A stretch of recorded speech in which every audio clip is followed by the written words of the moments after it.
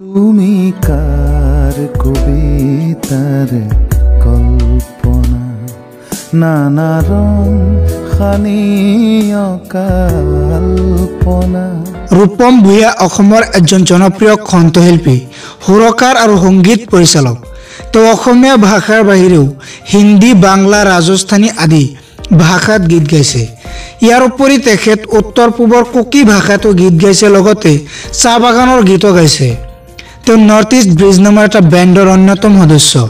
Cotton কলেজত দুবাৰকৈ শ্ৰেষ্ঠ গায়কৰ খিতাপ লাভ কৰা ৰূপম ভূঞাই দুহেজাৰ ন চনত আইডিয়া ৰক্স ইণ্ডিয়া নামৰ অনুষ্ঠানত তেওঁ নৰ্থ ইষ্ট ব্ৰিজ নামৰ দলটোৰে অংশ লৈ দ্বিতীয় স্থান লাভ কৰি অসমলৈ গৌৰৱ কঢ়িয়াই আনিছিল। অসমৰ সাংগীতিক ক্ষেত্ৰখনত গীতি সাহিত্যৰ সুপ্ৰয়োগ আৰু মাৰ্জিত সংগীত উপস্থাপনৰ ক্ষেত্ৰত ৰূপম ভূঞাৰ নাম প্ৰণিধানযোগ্য ঊনৈছশ আশী চনৰ ছয় মাৰ্চত গুৱাহাটীত ৰূপম ভূঞাৰ জন্ম হয়। তেখেতৰ পিতৃৰ নাম গৌৰীকান্ত ভূঞা আৰু মাতৃৰ নাম চাৰু মেধি ৰূপম ভূঞাৰ মাতৃয়েই প্ৰথমে তেওঁক সংগীত জগতখনৰ লগত পৰিচয় কৰাই দিয়ে আৰু সংগীতৰ গুৰুৰ ওচৰলৈ লৈ যায়। ঊনৈছশ আঠানব্বৈ চনত ৰূপম ভূঞাই প্ৰথম আকাশবাণী গুৱাহাটী কেন্দ্ৰত গীত পৰিৱেশন কৰে।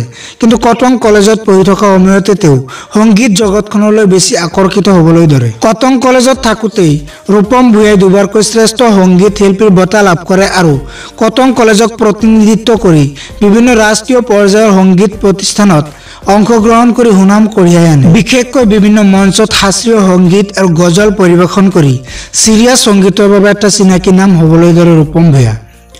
North east bridge এই দলটোৰ জন্ম হয় দুহেজাৰ ন চনত গুৱাহাটী মহানগৰত।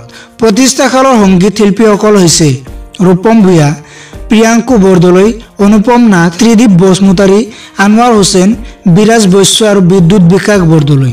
বৰ্তমানৰ সক্ৰিয় সদস্যসকল হ'ল ৰূপম ভূঞা ত্ৰিদীপ বসুমতাৰী বিৰাজ বৈশ্য বিদ্যুৎ বিকাশ বৰদলৈ সুমতি বৰুৱা ৰাকেশ বাৰু আৰু চন্দনজ্যোতি হাজৰিকা।